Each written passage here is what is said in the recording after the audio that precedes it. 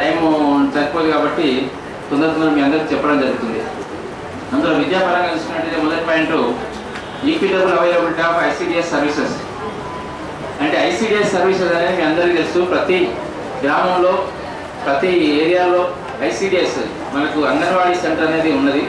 అంగన్వాడీ ద్వారా స్త్రీలకు అందులో ముఖ్యంగా బాలింతలకు గర్భిణులకు చిన్నపిల్లలకు వీళ్ళందరికీ పౌష్టికాలను ఇవ్వడంతో పాటు వాళ్ళకి అన్ని విధాలుగా ఆరోగ్యం కండిషన్స్ సరిగా ఉండి సరిగా ప్రెగ్నెన్సీ ఉన్న ఉమెన్కు పౌష్టికాహారం ఇవ్వడం మిగతా చిన్న చిన్న పిల్లలు అప్ టు ఫైవ్ ఇయర్స్ వరకు కూడా వాళ్ళని తీసుకొని వాళ్ళకు ఏ విధంగా స్కూల్ అనేది ఏ విధంగా ఉంటుందో చెప్పడం జరిగేది ఈ ఐసీడీఎస్ సర్వీస్ ద్వారా జరుగుతుంది.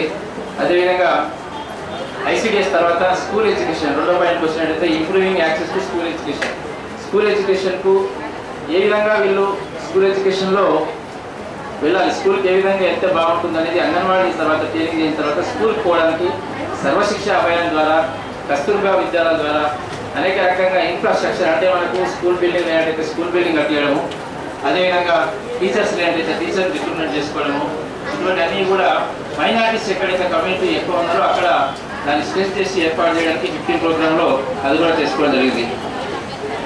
Greater resource for teaching Urdu. అదేవిధంగా మనకు మా ముస్లిమ్స్ అందరికి కూడా మాతృభాష ఉర్దూ ఉంటుంది కాబట్టి ఆ ఉర్దూ భాషను ప్రతి ఒక్క మైనార్టీ ముస్లిం అయితే ఉన్న వారందరూ కూడా నేర్చుకోవడానికి సెంట్రల్ గవర్నమెంట్ తరఫున ఉర్దూ లాంగ్వేజ్ను ఇంప్రూవ్ చేసుకోవడానికి ఉర్దూ టీచర్ను ఏర్పాటు చేయడము. అదేవిధంగా మోడర్నైజింగ్ మద్రసా ఎడ్యుకేషన్.